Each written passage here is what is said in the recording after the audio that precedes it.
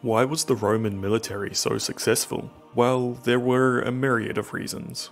First of all was their martial culture, and emphasis was placed on Rome's military machine which allowed them to rapidly field massive armies. Hannibal of Carthage annihilated three and still lost the war. Next, their discipline and command structure was far superior to their enemies. Roman legionaries were full-time trained soldiers. Many other people groups of the time had a small core of full-timers, but most of their army would be conscripted with little or no training.